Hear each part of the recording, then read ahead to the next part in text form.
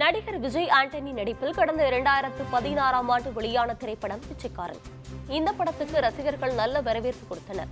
இப்படத்தை தொடர்ந்து பிச்சைக்காரன் படத்தின் இரண்டாம் பாகத்தை விஜய் ஆண்டனி இயக்கி நடித்திருந்தார். இந்த படம் கடந்த மே மாதம் பத்தொன்பதாம் தேதி வெளியானது. இந்த படத்துக்கு தமிழ் மற்றும் தெலுங்கிலும் வசூல் குவிந்தது. இந்நிலையில் பிச்சைக்காரன் மூன்றாம் பாகம் இரண்டாயிரத்து இருபத்தி ஐந்தாம் ஆண்டு தொடங்க உள்ளதாம்.